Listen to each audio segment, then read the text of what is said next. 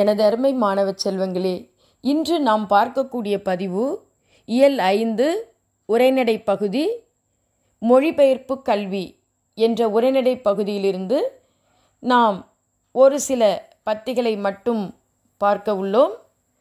அதாவது செம்மொழி தமிழுக்கு வளம் சேர்க்கும் மொழிபெயர்ப்பு கலை என்பது பற்றியும் ஒரு மொழி வளர்ச்சியடைய மொழிபெயர்ப்பு கல்வி இன்றியமையாதது என்பது பற்றியும் ஒரு நாட்டின் பண்பாட்டையும் அறிவையும் மதிப்பிடுவது பயன்கலையே என்பது பற்றியும் காண்பதே இப்பதிவின் நோக்கம்.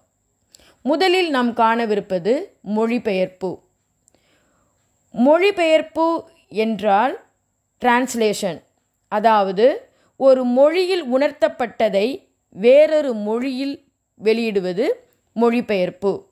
எடுத்துக்காட்டாக வடமொழியில் வால்மீகி ராமாயணத்தை தமிழில் கம்பரின் கம்ப ராமாயணமாக மொழிபெயர்க்கப்பட்டது குறிப்பிடத்தக்கது. அடுத்து மொழிபெயர்ப்பின் தொடக்கம் மற்றும் மொழிபெயர்ப்பு பற்றிய நூல்களில் காணப்படும் செய்திகளை காண்போம். எடுத்துக்காட்டாக தொல்காப்பியர் தொல்காப்பியம் எழுதிய தொல்காப்பியர் மரபியல் நூலில் மொழிபெயர்ப்பு பற்றிய செய்தியை குறிப்பிட்டுள்ளது நோக்கத்தக்கது. அடுத்து சின்னமனூர் செப்பேட்டு குறிப்பில் மகாபாரதம் தமிழ்படுத்தும் மதுராபுரி சங்கம் வைத்தும் என்ற செய்தி குறிப்பிடப்பட்டுள்ளது.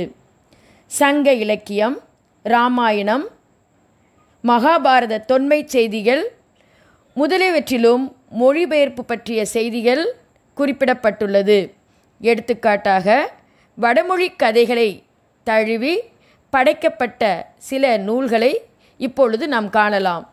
ஒன்று பெருங்கதை. இரண்டாவது சீவக சிந்தாமணி. மூன்றாவது கம்பராமாயணம். நான்காவது வில்லிபாரதம். இவைகள் அனைத்தும் பிற மொழிகளை தழுவி படைக்கப்பட்டவை. அடுத்து நாம் பார்க்கக்கூடியது மொழிபெயர்ப்பின் தேவை.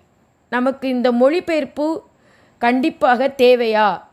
இந்த மொழிபெயர்ப்பு சரியாக அமையாததால் அமையாவிடில் கால காலத்திற்கும் அழிவு நேரிடும் என்பதை காண்பதே இப்பொழுது நான் கூறும் அடுத்த செய்தி. ஒரு மொழிபெயர்ப்பின் தேவை எதற்கு என்றால் ஒரு மொழி வளர்ச்சி பெற மொழிபெயர்ப்பு தேவை. Number one. உலகத்துடன் உறவு கொள்ள மொழிபெயர்ப்பு தேவை. பிற மொழி இலக்கியங்களை அறிந்து கொள்ள ஒரு மொழிபெயர்ப்பு தேவை. புதிய படைப்புகள் உருவாக்கவும் மொழிபெயர்ப்பு அவசியம். பண்பாடு நாகரிகம் பழக்க வழக்கங்களை மதிப்பிடவும் ஒரு மொழிபெயர்ப்பின் அவசியம் முக்கியமானது. உலக புகழ்பெற்ற அறிவியல் கண்டுபிடிப்புகளை அறியவும் மொழிபெயர்ப்பின் தேவை அவசியமானது.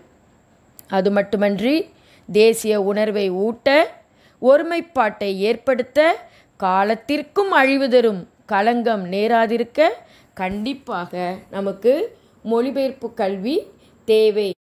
எடுத்துக்காட்டாக உலகப் போரின் போது அமெரிக்கா சரண் அடை அடையாவிடில் குண்டு வீசப்படும் என்ற செய்தி தவறாக மொழிபெயர்க்கப்பட்டது குறிப்பிடத்தக்கது.